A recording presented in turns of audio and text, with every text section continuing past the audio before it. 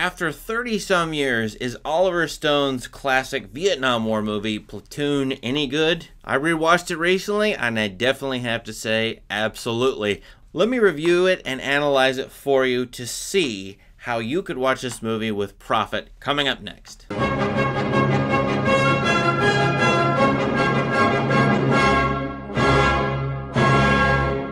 Platoon is a 1986 movie that got all kinds of awards. It put Oliver Stone on the map as far as a great director in Hollywood and in the United States. It won the Academy Award for Best Picture. And I think this is really a very interesting Vietnam movie as a cinematic memoir done by a Vietnam vet, Oliver Stone himself. I view this movie as less of a realistic work about what it was like for ordinary American grunts in the jungles of Vietnam than it is Oliver Stone's sort of warped and refracted perspective on his service time, you know, 15 years, 20 years after he was actually in Vietnam. So as a memoir, I think this movie, and a cinematic memoir, this movie works wonderfully well. The movie stars Charlie Sheen as Chris, a new grunt who gets off the helicopter at the beginning of the movie. And like Oliver Stone himself or other, you know, naive soldiers, he's never been in Vietnam, he's never been in battle, and he's ready for action. But little does he know what he's going to undergo. There's a great opening scene where he, Chris, the Charlie Sheen character, looks at a war veteran who just gives him a nasty smirk. And it's a great shot, 180 degree flip, because you know this new soldier has no clue he's going to go through as you see the contrast between the two soldiers, and yet they're both going the same way. I think to the left in the beginning, which is the direction of disaster, and Chris is going to become like this, you know, wizened but hardened and terribly, uh, you know, messed up soldier so Chris enters a platoon who they patrol the jungles near Cambodia in Vietnam, obviously fighting against the Viet Cong in the 1960s. And he's got to deal with, you know, all the hardships of that, whether it's ants or the heat or the sweat or the terrible walking and, you know, all the water that's around. And there's nothing to do at times. So either they're patrolling the jungle and going to get shot at, or they're back at home base and in this movie, you know, there's a lot of excitement at home base because they have got free access to drugs. So Chris joins the potheads and eh, who are taking both pot and hard drugs. And then the, there's a division in the movie between the drug addicts and the potheads and the hippies, and then the guys who are clean and don't do that. And I think that division shows up in the movie all over the place, including between two of the main characters. Sergeant Barnes, played wonderfully by Tom Berenger, who has a nasty scar on his face. You know he's not a good guy, probably because of that scar. But then also Sergeant Elias, played by Willem Dafoe, who's a little bit happier and who's in the pothead camp. These two sergeants are at odds throughout the movie, and the tensions between the two are very important, especially for this, you know, new recruit type, this new soldier type who is Chris. We see Sergeant Elias as kindler and gentler. We see Sergeant Barnes as a mean son of a gun. And you know, there's all kinds of other soldiers in this movie.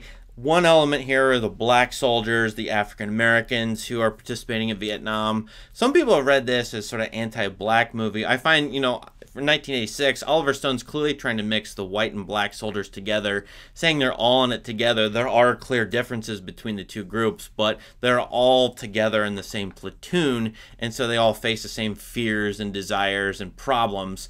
Uh, but also, I think one of the main ideas in this movie is that Chris is in for it, obviously. He's going deep into the jungle, which is a Rashomon like jungle, quoting the famous movie by Akira Kurosawa. Uh, I think even the one of the first shots of the jungle, the camera pointing up to the canopy, light diffusing through from the sun, but you can barely see it. That is a Rashomon shot where the forest is a forest of ambiguity, mystery, but also darkness and perhaps loss and violence. And certainly that's what the jungles in this movie are all about. There's a lot of nighttime cinematography in this movie. The darkness, the dampness, you know, contributes to this sort of feel of Chris becoming, you know, perverted or lost, uh, literally, but also metaphorically and spiritually in the jungle. Now, here is where I have to spoil things for you if you've not seen the movie, so watch it and then see this video. But as I said, Sergeant Barnes versus Sergeant Elias in this movie comes to a head about 70 to 80 minutes in, in a surprise scene where the two of them are in a jungle, and spoiler, one of them shoots the other, and he should not be shooting his own fellow soldier, Sergeant Barnes killing Sergeant Elias.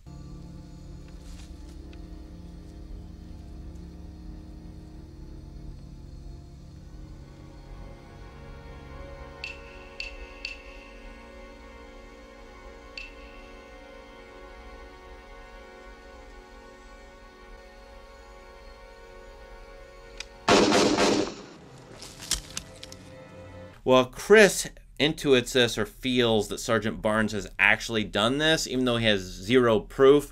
And so he's a gung ho to actually kill Sergeant Barnes. That leads to a speech where Sergeant Barnes enters the sort of the pothead commune, as it were, and he tells them, I'm reality. I'm a realist. I am, you know, hard nosed reality punching you in the face. That's what you face. You guys are potheads or dreamers or idealists like Sergeant Elias, but I'm reality on the ground. You smoke this shit so to escape from reality? Me, I don't need this shit.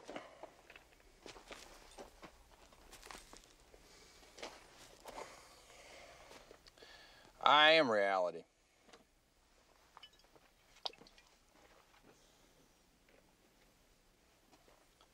There's the way it ought to be, and there's the way it is. Now, this little speech, I think, tips you off to what this cinematic memoir is sort of about and gives you a great idea of Oliver Stone's overall ideas, his political ideas throughout maybe all of his movies.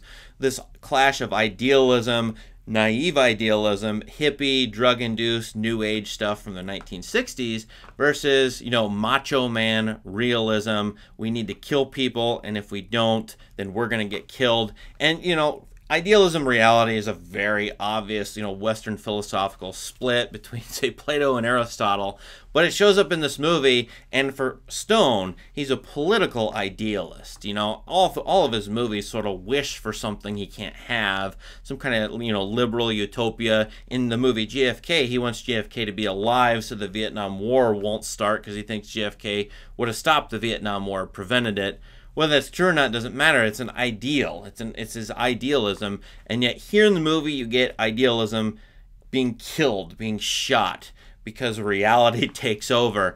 What's interesting in the movie, of course, is that that's going to come to a head in the climax of the movie when Chris faces off against Sergeant Barnes. And at one point, I think later on, I think at the end, he actually says, you know, I was birthed of these two men, these two men, Sergeant Barnes and Elias, idealism and realism were my fathers. So Chris is a man, you know, split in two, and Barnes and Elias sort of represent him being split in these two camps. So there's a great scene at the end, of course, where Chris faces off against Barnes, and there's a question I have, which is what does this scene mean when Chris does face off against Barnes? You know, the great critic Pauline Kael, I think she misread this movie totally. She said you know the end of this movie is a revenge pulp fantasy, and Chris is in the right in what he does. I don't think so at all. I don't think you have to read it that way. In fact, I think you could say that Chris becomes Sergeant Barnes. He does exactly what Sergeant Barnes does. That doesn't mean it's just, by the way. It doesn't mean it's fair, just, or right. And so you can see that Chris may be corrupted or perverted by his experiences in Vietnam, by the jungle, and by being under the leadership of Sergeant Barnes because he becomes Sergeant Barnes. I don't think the movie makes any judgments whatsoever about Chris being in the right or wrong there. I also think Pauline Kael is dead wrong. I think she said this movie sensationalizes or romanticizes, you know, being in the jungle of Vietnam. Not at all. In fact, when I say this movie is a cinematic memoir, of course it's going to be nostalgic about being in Vietnam. If that was part of your past or part of your identity, you're going to valorize the soldiers and you're going to be a little bit wistful about that experience no matter how horrible it was. You know, that's what the movie does. So when I think Oliver Stone did this as an ex Vietnam vet, I think that's perfectly fine. But if somebody were not in Vietnam making this movie, yeah, then I would say this is too nostalgic or romantic, romanticizes being in the jungle and shooting, you know, the Viet Cong. But of course, this is the, his experience and identity, and he wants to show what it's like to not only have been a Vietnam veteran in you know the jungles in a platoon but then to be one after the fact and deal with you know Vietnam as it was in your mind I personally have known a lot of guys who were in Vietnam, and they do not talk about their Vietnam experience at all. Why?